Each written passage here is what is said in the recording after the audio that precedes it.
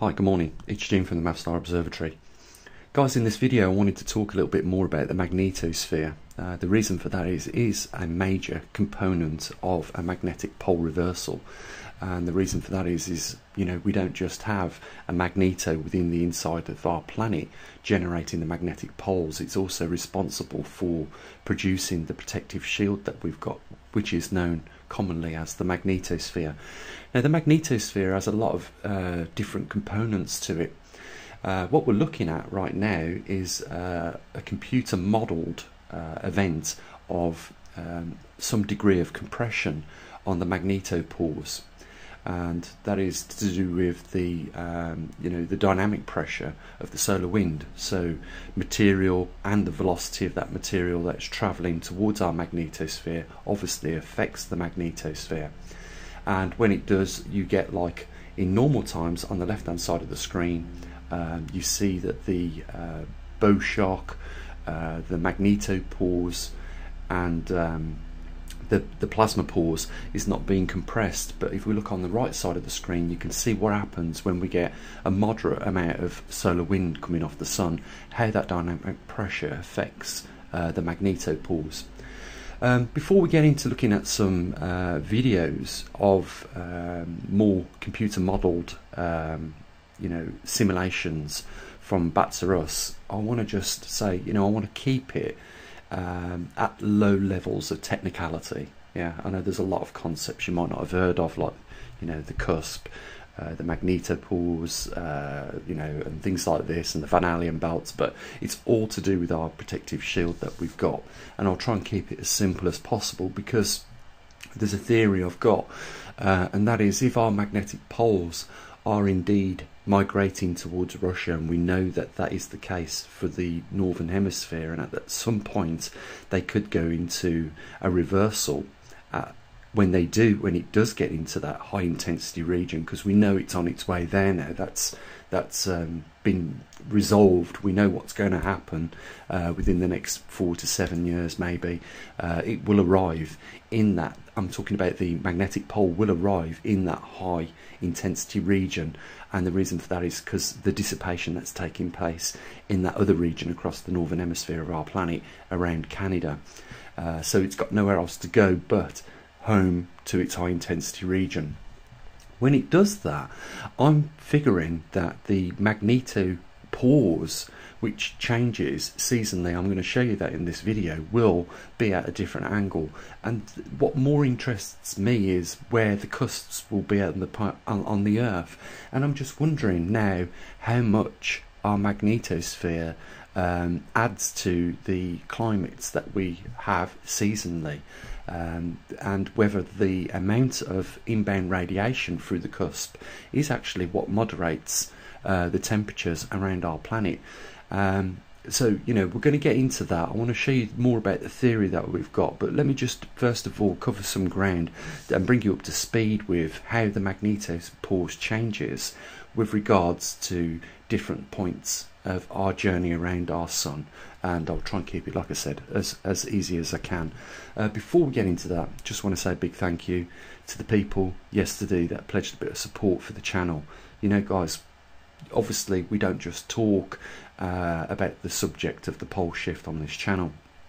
We get equipment out into the field and you know we really want to uh, in the future have more equipment out there so that we can get more data back in and we can you know probably be one step ahead of the changes that are taking place on our planet and at the same time learn more about these changes and you know get an idea as to what we're going to expect further down the road so it's about forecasting with the data that we collect and not so much just speculating all the time so you know big thanks to you guys okay let's hit the ground running so before we get into looking at some uh, imagery of the modelling, uh, I just want to quickly uh, give you a little idea of what we're interested in.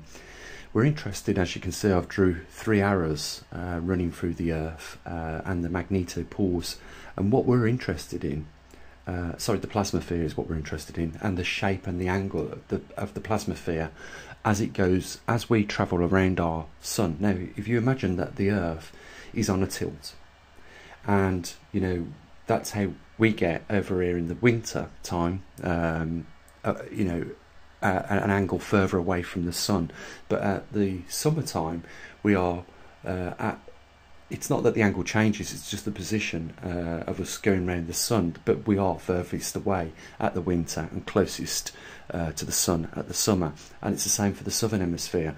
But what happens during this time, uh, with regards to our magnetosphere, is the magnetopause and the plasmasphere changes their angle and you're going to get where I'm going with this. Uh, I'm going to show you the three positions that this can be in. And, you know, if we look at stills from January, um, we will see that the angle is up, um, going towards the top right hand side of the screen. If we're looking at somewhere halfway, um, you know, in the middle of the year, somewhere around January, July, sorry, we'll see that the angle changes. Uh, going down towards the bottom right hand side of the screen and if we are at times like in April or October, where you know we are sort of like in wind, uh, not in spring or autumn, uh, you'll see that we are on a horizontal line going straight um, easterly, if you want to, on that screen, and that's that arrow that represents that.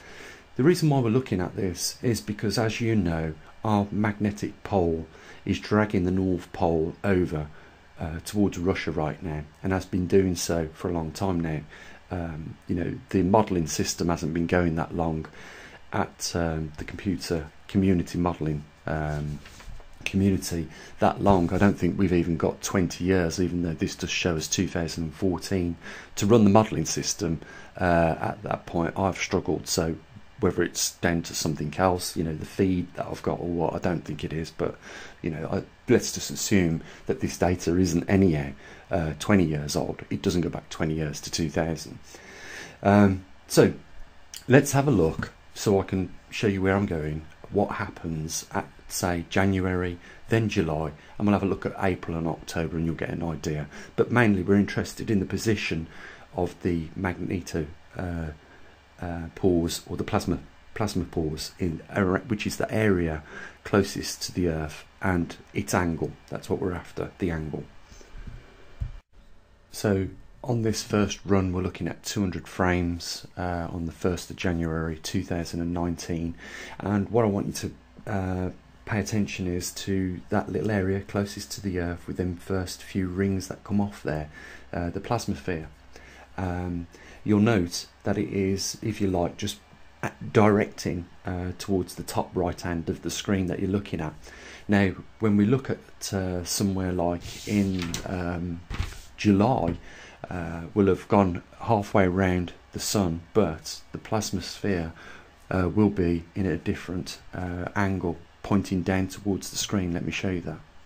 So now, as you can see, uh, we're in the 1st of July.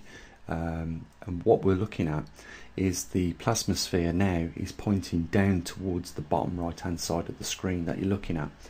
Um, we're going to just show you uh, what it looks like in April. I don't need to show you what it looks like in October because you can just trust me that it will be the same. Um, it is almost horizontal, uh, the plasma sphere. But the point of showing you this, guys, is to show you that as we orbit around the Sun, the magnetosphere changes its angle. Um, you know, obviously, right now uh, in July over the northern hemisphere, we would be closest to the sun, and you can see that there is uh, a change in the vertical angle of the plasmasphere, and that's all I wanted to demonstrate for this point. Uh, not go into too much detail.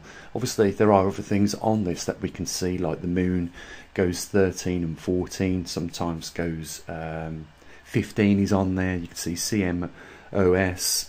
Uh, there's obviously we could talk about the uh, polar cap, the crossed lines, the, the field line, the B field lines, and all that. But just want to keep it nice and simple. And we'll talk about those things at a later date. We'll also have a look at the modelling system uh, when it records CMEs and how it causes those compressions that we saw at the beginning of the video. So, you know, I do want to um, go down this line with you, looking more at the uh, BATS-R-US um, data and these videos of the magnetosphere because it is, like I said at the beginning of the video, really important that we um, do you know include this now into the pole shift um, you know discussions that we have on YouTube Uh, so let's just show you what it looks like then in April. So that you've got three of the dimensions of how the magneto uh, or sorry the magnetosphere changes its angle as we just go around the uh, orbit on uh, you know a 365 day a year.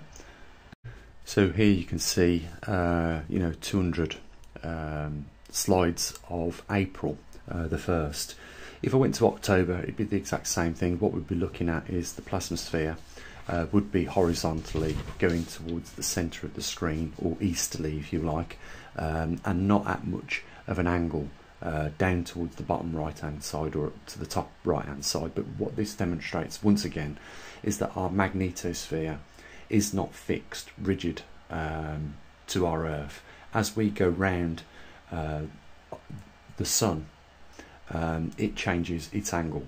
And the important point is here, what I'm going to make, uh, is that if our magnetic poles are migrating towards Russia, uh, then uh, the magnetosphere angle is going to change. And why is that important? Well, two things happen um, at two different type uh, parts of the or the orbit around the Sun. Is that the cusp uh, which I'm going to show you now on the on the magnetosphere model, uh, aligns more to the sun. And if the bow shock is subject to a higher density uh, and pressure from the the sun, uh, then it is more likely to get through these two vulnerable uh, areas. Let's have a look at the modelling system so you can see that.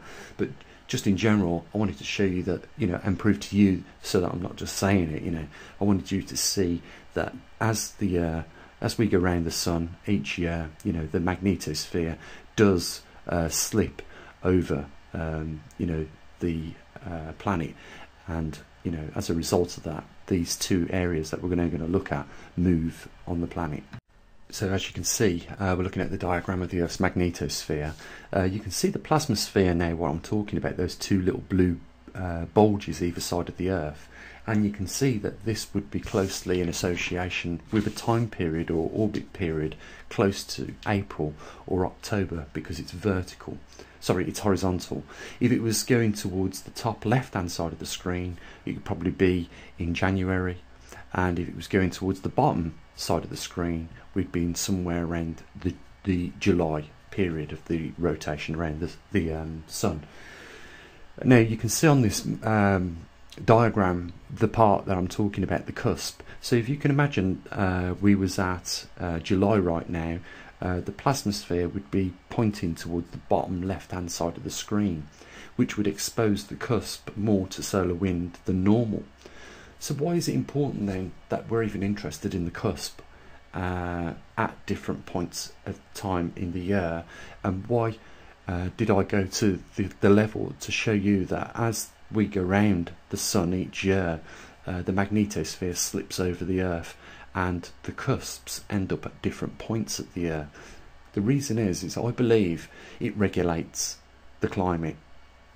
And if uh, we go to, you know, uh, NOAA's release that they did earlier January this year of where uh, these high intensity regions are, you will see that our magnetic north pole is moving in the direction to Russia and it will be there at some point in the near future.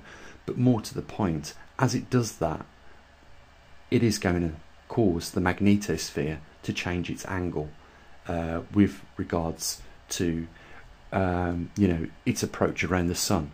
And regardless of the fact that it tilts normally uh, from January to July, April, and October, it is going to alter it permanently whilst it's in Russia for that period of time. And that could change the climate on our planet more so because these cusps are going to line up more directly with this incoming solar wind. So let's have a look at the uh, NOAA map of this year. So we're looking at the main field total intensity. Um, what we're looking at is all the regions on the planet that have high uh, intensities of magnetism and low intensities. Obviously, the one which is centered around Brazil is the South Atlantic anomaly, which is also growing um, in size as time goes on through this pole shift. Uh, we know that Canada intensity is shrinking and we know that Russia's intensity is increasing. And our magnetic north pole, the thing our compass points to, is somewhere central above uh, the UK. For argument's sake, it's a little bit towards Russia than just being exactly central or zero on this map. But it is inevitably going to end up in this region here in Russia, central.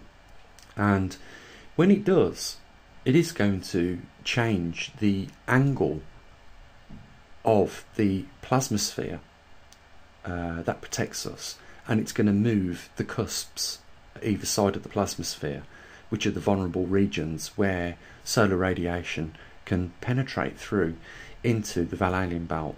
I, I really believe now thinking about this guys and looking at the way the angle changes throughout the year that is responsible uh, for the total amount of solar radiation we actually get in our planet I reckon it has um, you know, a, a, positive uh, feedback on the climate. I really do believe that now, and I'm just uh, concerned that if we're going to see the magnetic north pole move, you know, quite a few degrees over the northern hemisphere, and we, we haven't got data um, going far back at BATS-R-US uh, that we can examine, you know, 100 years of data because we would then see, before the pole started to reverse, what the position of the magnetosphere was naturally at January and uh, at July and at April and October at different points of the year. Uh, because I believe what we're looking at today with the magnetosphere is not in its original position, and I reckon more so over the last 30 years. And it's a shame that it, even uh, data doesn't go back 30 years because we could probably see a slight change in the angle of the slippage at that point. But what we are going to see from now to the point of where the magnetic North Pole arrives in the centre of Russia in that high intensity region over the next few years, we are going to see what effects that has on the position of the magnetosphere. Um, with regards to the plasmasphere, sorry, being almost at you know an equatorial center point on our planet. My point is this: is that the cusps are going to be in a different position to what they are right now, and we could see, you know, a, a cooling effect on our planet as a result of that. So, hope you've enjoyed the um, you know the little discussion we've had today. Again, just more to the point, reiterating the fact that you know we've got a magnetic north pole uh, heading now towards Russia, the centre of Russia. Um, it's heading home, if you like. It's where this little magnifying glass is, and it's going to be like its counterpart down here on the southern hemisphere of our Earth. And as you can see, in the centre of the high intensity region is the exact uh, safe magnetic pole, and that is where our North Pole is heading right now. If you like, it's heading home. When it gets there, guys, we could at that point see you know the beginnings of a full reversal, if not before that. So you know, stay tuned uh, for further updates and more um, you know computer modelling from BATS-R-US or from um, the Computer Community Modelling Centre. Uh, guys, if you want to help support what we do, uh, you know we are trying to build more equipment and get it out there in the field. There is a link down there below, and I'll say what I usually do. You have a great day, as always. Bye for now.